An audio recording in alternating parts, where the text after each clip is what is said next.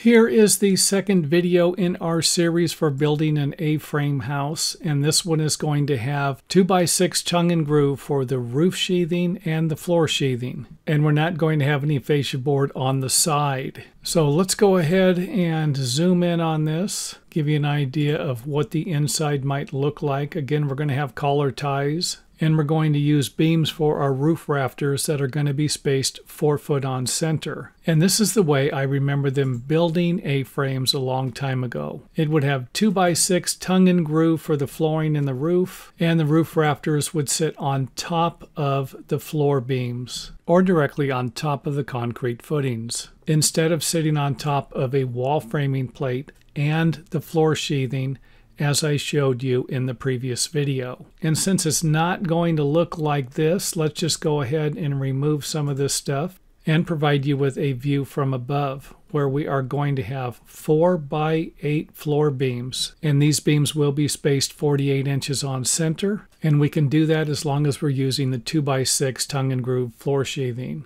And something else you will need to do a little different will be to move the center footing back on both sides, unless you're going to be covering it up by building a deck or a landing at each end of the building. Next up, let's go ahead and add the roof rafters. And this design will have blocks in between the rafters and a beam underneath them. And the beam really isn't going to be a supporting beam. We really don't need a ridge beam for this design. However, we are going to add some support posts underneath the beam to make this building a little stronger. Now, a couple of you pointed out in the previous video that it would be difficult to assemble the ridge framing. And doing it this way might be a little easier because you could always figure out the length of each one of the roof rafters along with the floor beams and assemble everything together and then stand it up in one section. Or assemble the two rafters together at the top and even install the collar tie if you need to on the floor and then stand that up into place if that will work better for you also. Now, if you need a little more information on that, let us know in the comment area and I will walk you through the entire process of how I might assemble something like this. And as you notice, we're going to have a couple of braces here. You're going to need to plumb up this section of the building and brace it off at the sides. We're not going to worry about this right now because we could always adjust that a little later. And you can always change the bottom design of the rafter if you want to, to add some fascia board. And you can see where the roof rafter beam is now sitting on top of the floor beam. Let's go ahead and take a look at the other side. And you can use whatever you want to here, nails, lag screws, and even other types of building hardware to assemble this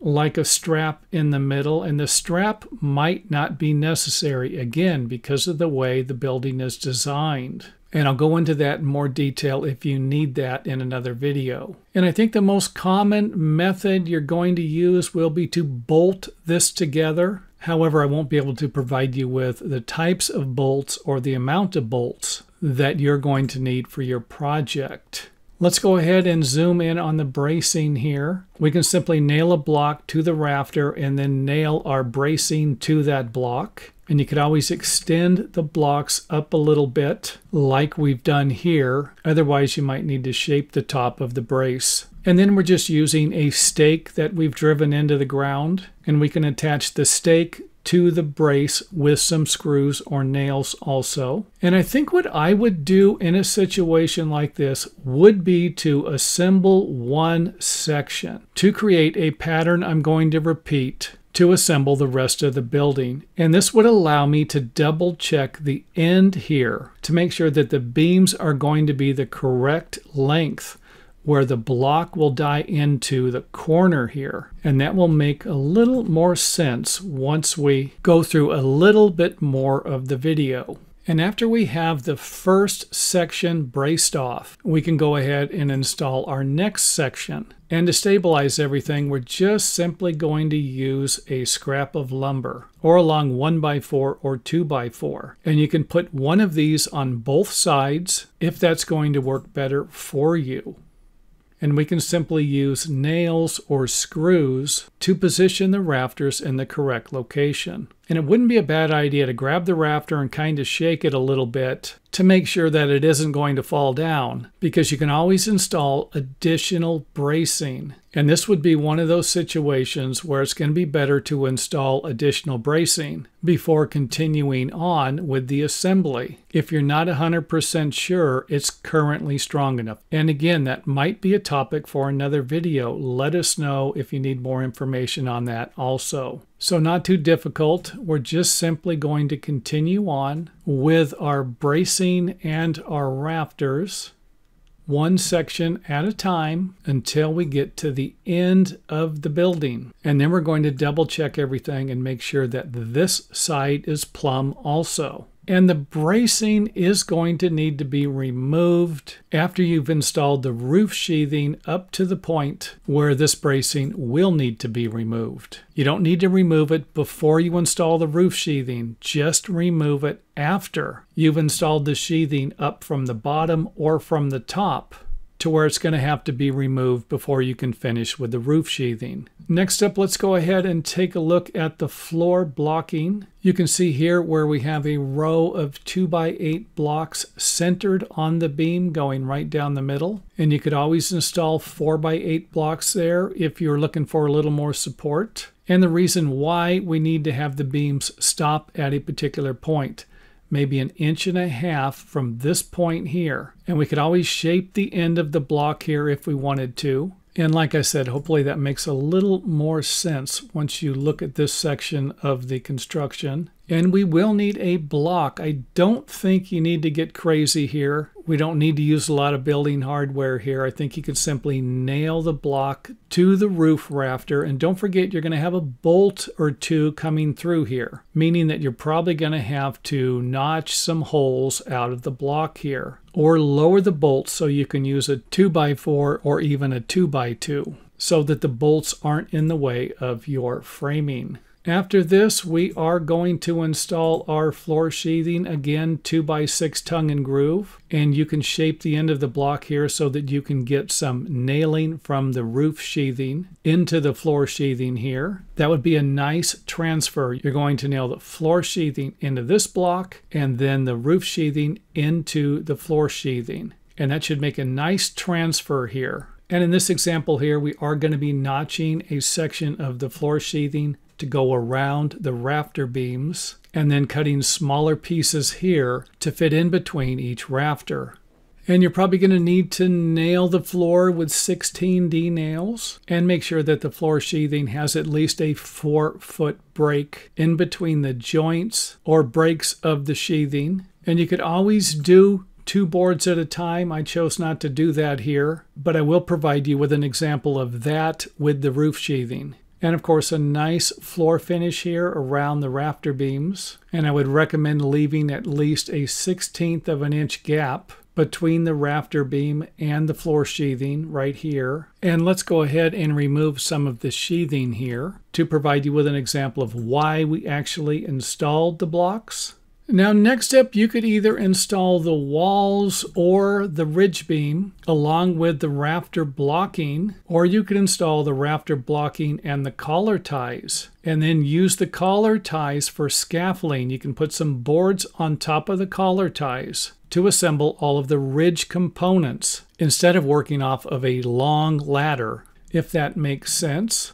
Let's go ahead and zoom in. We are going to have a beam here, blocking here. You might need two boards here if you can't find something tall enough. For example, if I need a 2x16 and the biggest board I can find in my town is a 2x10, then I'm going to have to have a block sitting on top of another block here, or use a taller ridge beam. Let's go ahead and remove the block to give you an idea of how the rafters are going to sit on top of the beam. And you don't need to use this beam. You can have the rafters connect to each other and then install blocks here as long as you have the collar ties or the rafter ties to keep everything from spreading apart. Next up, we can install the walls or we can install the roof sheathing. But I would suggest installing the walls if you're going to have a difficult time fastening the studs to the top plates. But again, that will be a decision I will leave up to you. And the wall framing could always go all the way up to the bottom of the roof sheathing, or the bottom plate could be even with the bottom of the roof rafter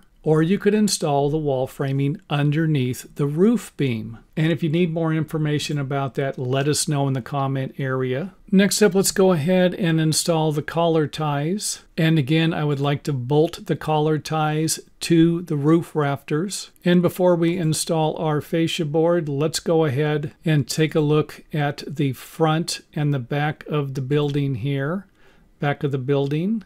And then take another look at the upper roof framing here, just to provide you with another view that I might not have provided you with earlier on. And another method you might be able to use to install a post in the middle would be to add another collar tie and then add a block to the center, something like this where we can have a post fully supported by basically a double joist and depending upon what your engineer says, you might not need a structural beam. And something like this will work just fine. Also keep in mind that I'm not providing you with a lot of building hardware in this video. And if you need more information on that, feel free to let us know in the comment area. And at this end here, I went ahead and just simply installed the post on top of the same sized header I used in the previous example. However, you might consider installing a larger header and maybe even double trimmers underneath that header. Again, this will depend upon whether or not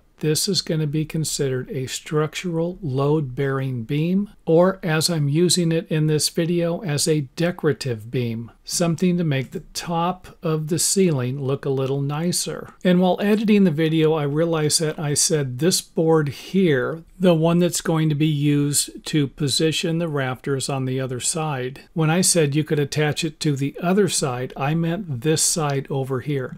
I did not mean the underside or the other side of the roof rafter. And you could always install more than one brace at different levels, especially when dealing with longer roof rafters. And this is what I meant by the double board spacing for the roof sheathing. We're going to have two boards on the same break and then another two boards, and then another two boards. And you could use this method here for the floor sheathing. Probably not going to have a problem with it. And another example here of how you could finish off the ridge with the sheathing depending upon whether or not the roofer is going to accept it or not. And we're going to add a spacer between the back of the fascia board and the front of the building. This will allow us to install siding or stucco underneath the fascia board. And for those of you who have been watching my videos for a long time, you've seen that plenty of times in previous videos. Next up, let's go ahead and install the fascia board, and that's going to look something like this. And if you wanted to install fascia board on the bottom, you would just simply reshape the bottom of the roof rafters to where it would be similar to the installation in the previous video. And for those of you who have made it to the end of the video, Feel free to leave any comments, questions, or details about specific information you might need to build something like this. Something I might not have provided you with in the video, or something I might need to spend a little more time on.